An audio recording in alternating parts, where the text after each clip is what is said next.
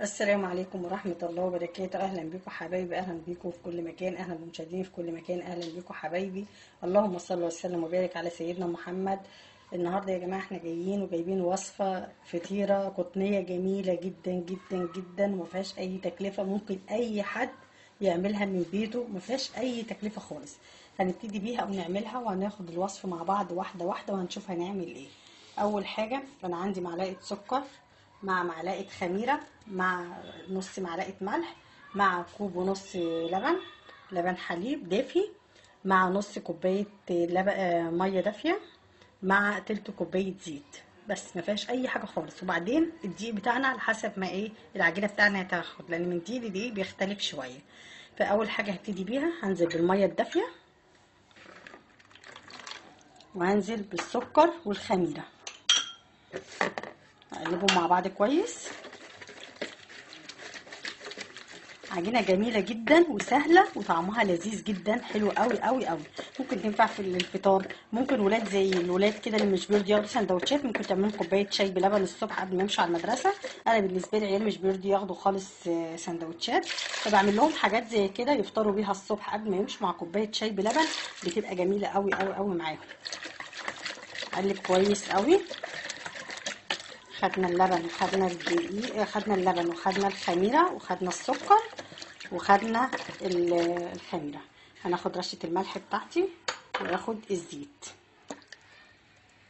اقلبهم كويس قوي في بعض. أقلب لحد ما أحس إن كله اللي أنا حاجات الحاجات اللي أنا حطيتها كلها المواد اللي أنا حطيتها كلها اتفاعلت مع بعضها وجابت كويس قوي مع بعض. السكر مع الملح مع الخميرة مع اللبن مع البي... مع الزيت كل كل المكونات كلها. حسيت خلاص إن هي دابت كلها مع بعضها كويس هنبتدي ننزل بالدقيق شوية شوية. طبعا إحنا متعودين إن إحنا الدقيق مش بننزل بالكمية كلها مرة واحدة. إحنا دايما متعودين إن الدقيق بالذات يعني من من دقيق لدقيق بيختلف. بننزل بالدقيق كمية وحبة حبة شوية شوية. هننزل كده بالدقيق شوية شوية. طبعا أكيد لازم يبقى معانا مصفى أو منخل أو أي حاجة ننخل بيها الدقيق زي حكاية كده.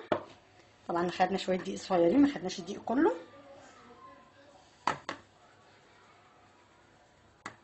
أساس الحركة دي لازم تتعمل في دقيق مهما كان كنت واثقة منه حتى لو كان مغ... آه معبأ كده أكياس أو أي كان الدقيق لازم تعملي الحركة دي لازم تنخلي لازم. الدقيق بالذات لازم يتنخل كويس.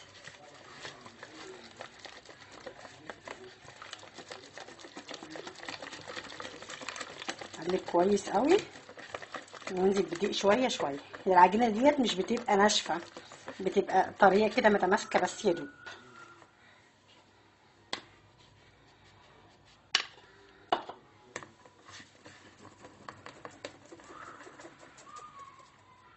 مش أسرع من كده ولا أسهل من كده. عجينة سهلة جدا ومش مكلفة خالص. أي حد ممكن يعملها من قلب البيت من عنده. عجينة سهلة جدا جدا جدا. تعملها يعني بأبسط حاجة. وما بتاخدش العجن ولا بتاخد أي حاجة.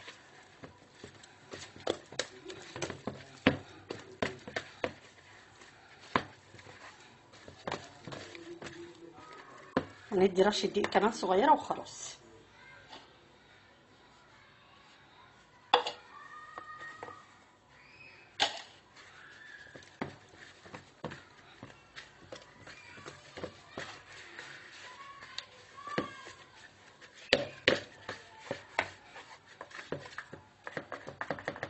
أنا هكمل بإيديا. المضرب بتاعي سيليكون مش نافع. هكملها بإيديا. هكمل بإيديا. كده خلاص بدأت أكمل بإيديا. لازم تتعمل كده. ما فيهاش عجن خالص بس أنا عشان المضرب بتاعي سيليكون فالأسلاك بتاعته ما بتستحملش. ناخد حبة دقيق كمان صغيرين. هما الحبة دول مش كتير قوي. يبقى العجينة بتاعتنا خدت أربع كوبايات دقيق قلبي بس الدقيق بتاعها كده.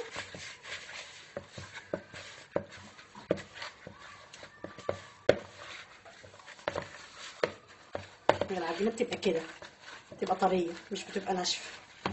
هي كده ده المقدار بتاعها بتبقى كده. ما بتبقاش ناشفة أكتر من كده.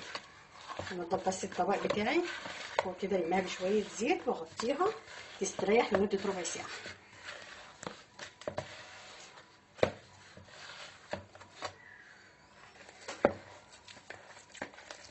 العجينة بتاعتي هي بتبقى القوام بتاعها كده بالظبط. هبل بس ايديا زيت. والم العجينة بتاعتي كده بالراحة. طبعا عاملة ايدي فيها زيت والمها كده بالراحة. وأروح مغطياها. وتسيبها تستريح لمدة ربع ساعة.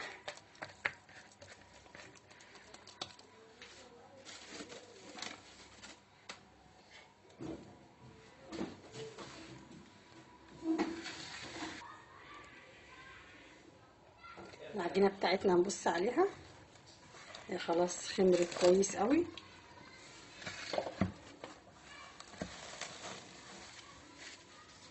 كده كويسة خالص اهي.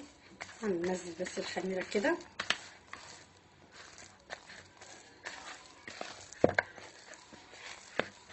هنديها رشة دقيق. رشة دقيق بالراحة كده. وأروح منزله العجينة بتاعتي عليها.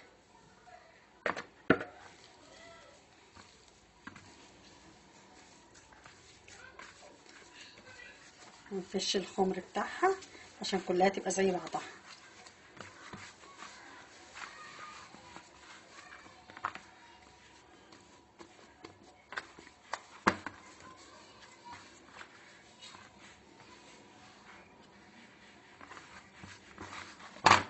إحنا قلنا العجينة بتاعتنا بتبقى طرية بصوا هي تبقى كده انت ماسكة. متبقاش ناشفة قوي ولا طرية قوي هي كده.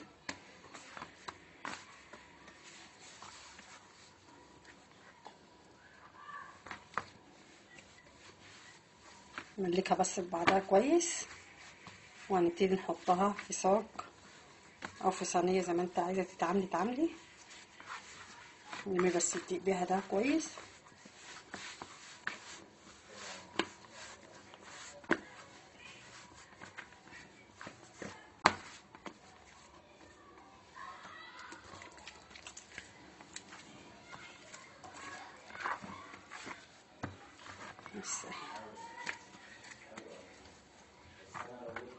حاطة فيه ورق الزبدة بدهنها شوية زيت صغيرين قوي زي كده.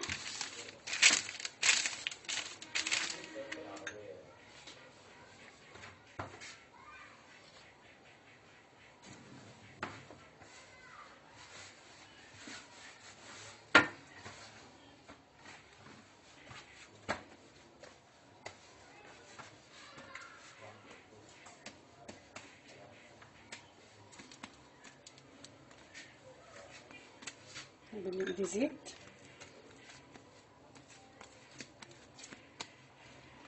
وحط العجينة بتاعتي كده.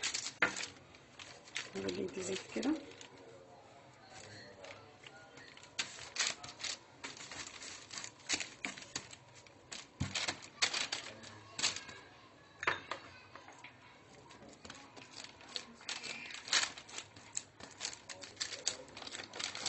كده أفرد العجينة بتاعتي نفس الطريقة دي كده. اخلي السمك بتاعها لا تخين ولا رفيع اظبط السمك بتاعها. لأن كده كده هي لسه هتستريح شوية تاني. فهتبتدي ترفع معايا فوق تاني تخمر تاني فاحنا هنبتدي نظبطها كده. نفرد عادي. كأننا بنفرد اي عجينة عادية جدا خالص. هي مفيهاش أي مشكلة خالص.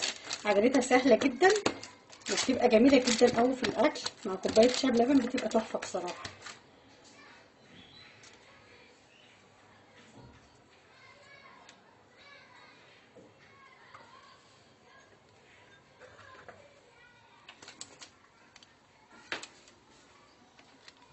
بظهر معلقة أو بظهر شوكة أو بإيديكي زي ما أنت عايزة تحبي تشتغلي كده. ونروح عاملين لها دايرة كده عشان نديها شكل. بنوصلها للآخر. هي كده كده بترفع ما تقلقيش. حتى لو انتي اتخرمت ما تقلقيش خالص لأن هي كده كده بتخمر.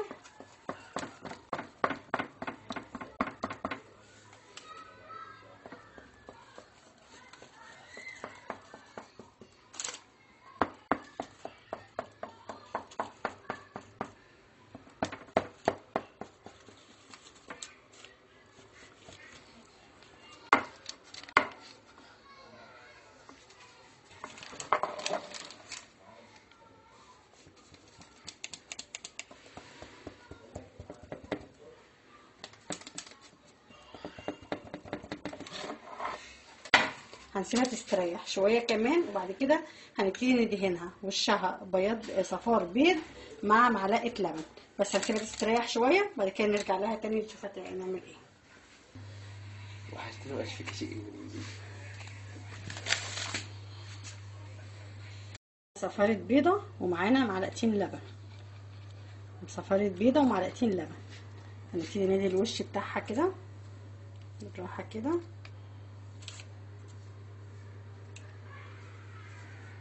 ندهنها كلها بصفار البيض والمعلقتين اللبن اللي إحنا حاطينهم. ضربينهم طبعا كويس قوي قوي قوي مع بعض. البيض مع صفار صفار البيض مع كوب مع معلقتين اللبن. ضربينهم كويس قوي ربينهم كويس قوي مع بعض.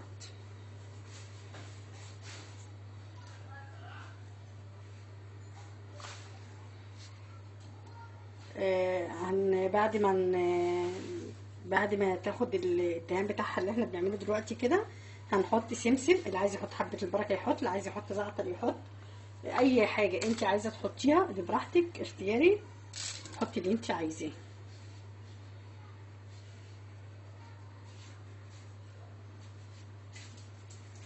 واحد على حسب ما هو عايز. في اللي بيحب يحط حبة البركة في اللي بيحب يحط سمسم في اللي بيحب يحط زعتر كل واحد على حسب ما هو عايز.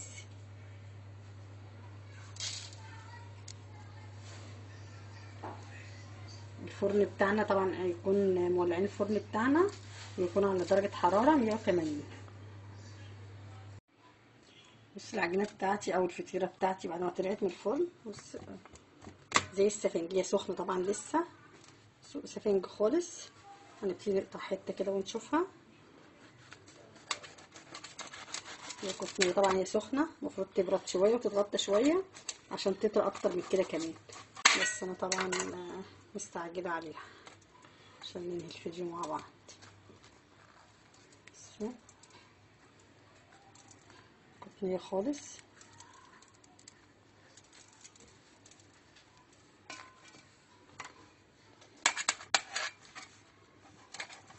دي طبعا الحتة اللي إحنا قطعناها الأول اللي بتبقى الحرف معروف اللي الحرف بيبقى رفيع.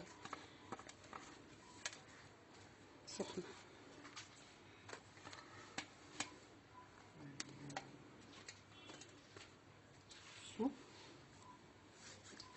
شوف العجينه بتاعتي؟ طبعا هي سخنة خالص عمالة حتى تطلع دخان مش أهي. بتفرد نفسها بنفسها.